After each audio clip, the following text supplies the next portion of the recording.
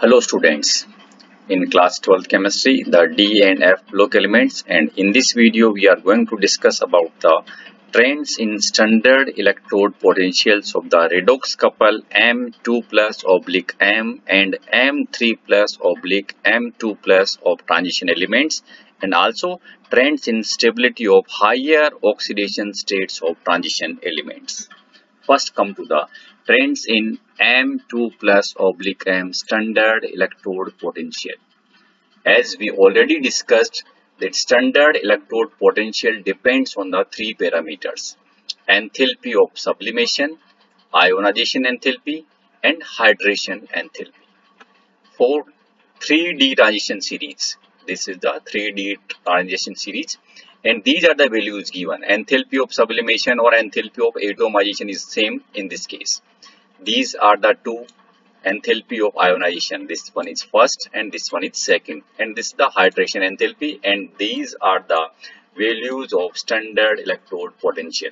Now if we see the general trend generally less negative E naught values across the series due to the general increase in the sum of the first and second ionization enthalpy.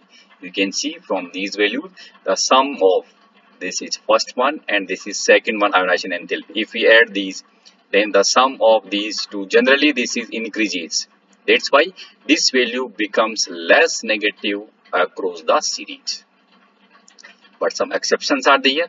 E naught value for mn ni and zn. See for mn this one is this. Minus 1.18 for mn for Ni, this is minus 0.25 and for Zn, this is minus 0.76.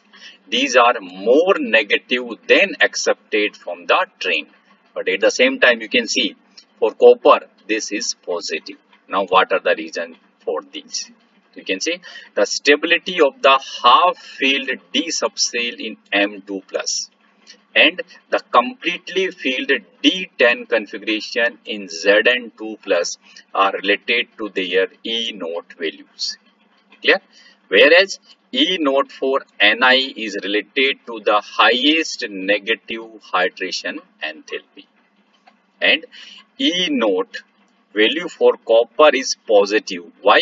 This is due to high sublimation and second ionization enthalpy. Is that clear student?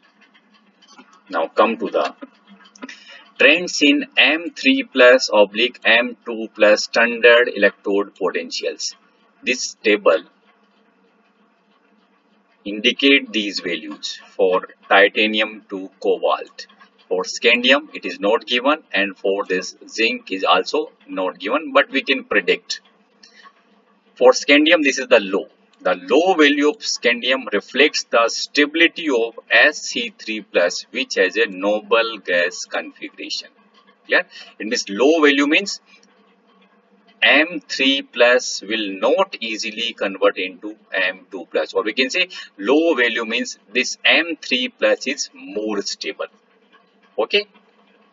If high value is there then we can say this M2 plus will be more stable. See the highest value. This can also not be given in the table, but it can be predicted. For zinc, this is the highest. The highest value of zinc is due to the removal of an electron from the stable D10 configuration of Zn2 plus. Highest value means M2 plus state is more stable. Okay. Now again see comparatively high value for Mn. You can see this is Mn. This is in positive. It means Mn in Mn2 plus is more stable. Why? Because Mn2 plus has D5 configuration. Okay, but at the same time, we can say low value for Fe. Okay, low value for Fe, this one, compared to the Mn, shows the extra stability of F3 plus. Okay, low value means M3 plus is more stable, high value means M2 plus is more stable okay and comparatively higher value for V that is for vanadium is related to the stability of V2 plus stability of V2 plus and it has half filled T2G level Now what is this T2G level? Actually there are the 5 d orbitals. Okay, these are the degenerate. It means have the equal energy, equivalent energy. But in the presence of ligand, these Mm-hmm. d orbital will split into two parts. Okay, and then these are known as the one part is known as T2G level and another is called EG level. For more detail, we will discuss next chapter coordination compound. In that, we will discuss what is this T2G and what is EG. See some example.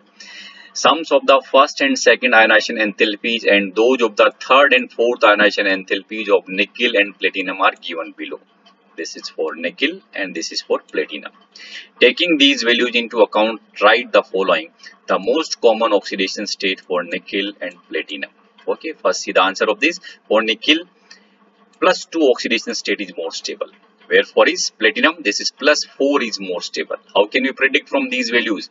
For nickel, sum of these first two ionization enthalpy is less than that for platinum. You can compare. This is less and this is more okay? And for platinum we can see for platinum the sum of the third and fourth ionization enthalpy is less. And for this nickel is high. That's why for nickel plus 2 is more stable and for platinum plus 4 is more stable. The name of the metal which can form compounds in plus 4 oxidation state more easily. I think you can write its answer. You can say this platinum can form stable compound in plus 4 oxidation state. Okay some more examples. Cr2 plus and cr3 plus out of these two which one is stable in aqueous solution? You can say answer is chromium 3 plus is more stable in aqueous solution due to higher hydration enthalpy and why this is higher? Because of the smaller size and higher charge. If we compare the size and charge this is smaller and charge is high.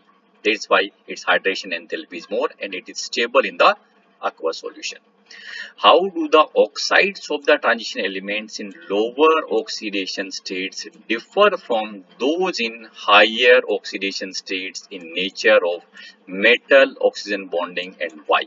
Answer is oxides of transition metals in lower oxidation states are ionic and basic in nature clear ionic and basic in nature.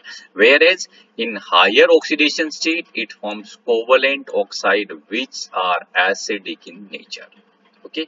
We can see in lower oxidation state less positive charge is there. That's why it can that's why it can lose more electron. And loss of electron it represents its basic in nature. Okay? At the same time if higher oxidation state is there then this is covalent due to the Fajans rule. More polarization more covalent character.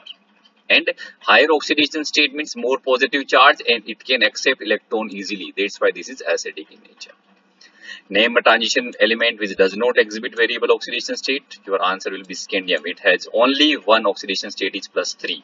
Again see, zinc also show only one oxidation state plus 2. But zinc is not a transition element. That's why our answer is scandium. Some more example.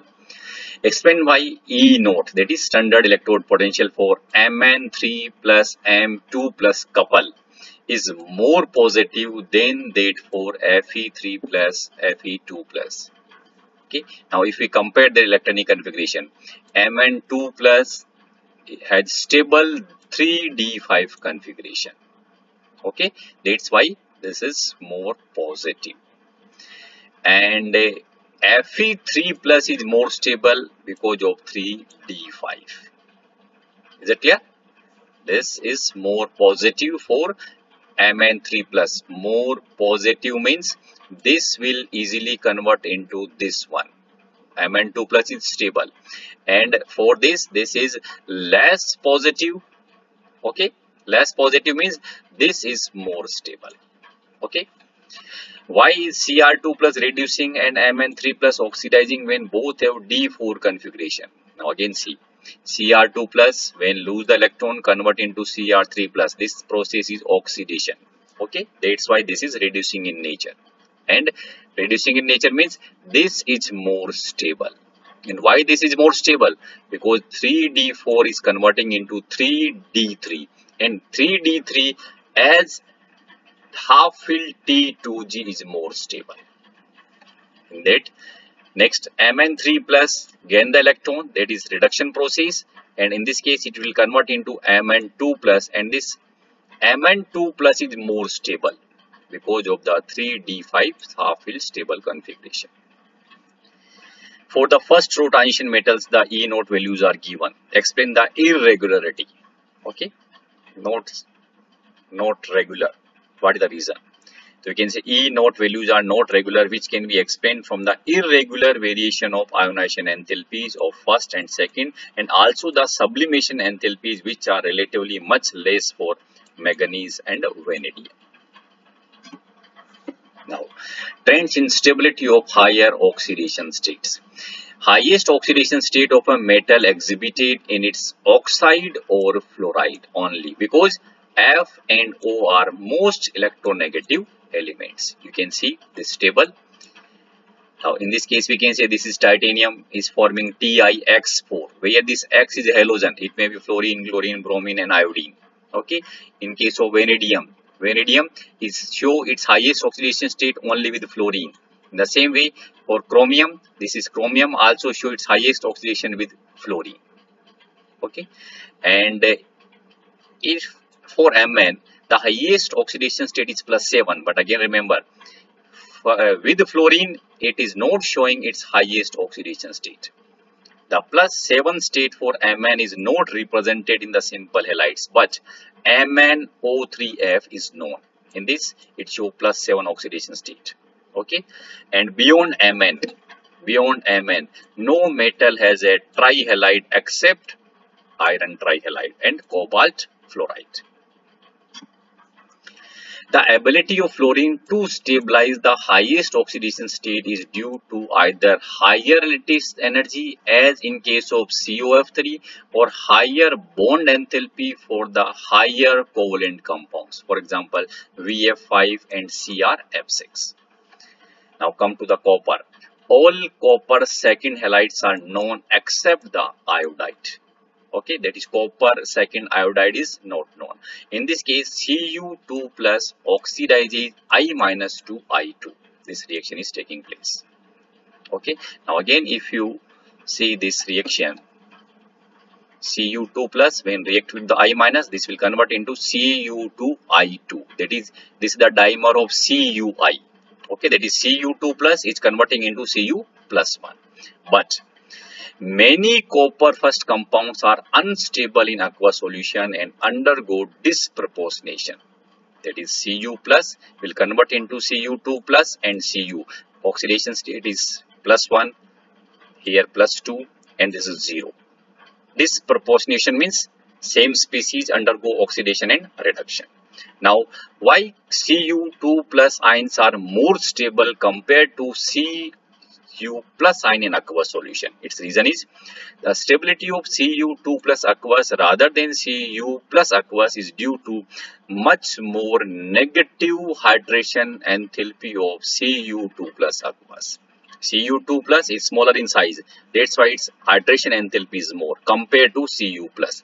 And this more negative hydration, uh, hydration enthalpy compensates the second ionization enthalpy of copper. The highest oxidation number in the oxides coincides with the group number and it's attained in like this is scandium oxide to manganese oxide.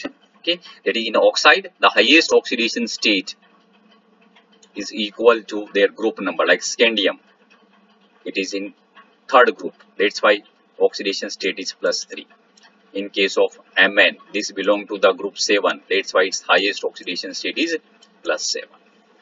Beyond group 7, no higher oxides of Fe above Fe2O3 are known. Clear? Although ferrates 6, ferrate 6 like this is FeO42 minus are formed in alkaline media but they readily decompose to Fe2O3 and O2. Now this point is again important. The ability of oxygen to stabilize these high oxidation states exceeds that of fluorine. See one example. Highest Mn fluoride is MnF4. That is, in with fluoride, highest oxidation state of Mn is plus 4. Whereas highest oxide is Mn2O7. In it, its oxidation state is plus 7. Its reason is the ability of oxygen to form multiple bonds. Okay, oxygen can form multiple bonds, but fluorine cannot form. Two metals explain its superiority okay? In the covalent oxide that is Mn2O7 each Mn is tetrahedrally surrounded by oxygen including a MnOMn bridge you can see this structure. Okay? This is one one tetrahedra and you can say this is the another tetrahedra. And in both the tetrahedra this oxygen is common. Okay? This is the structure of Mn2O7 thank you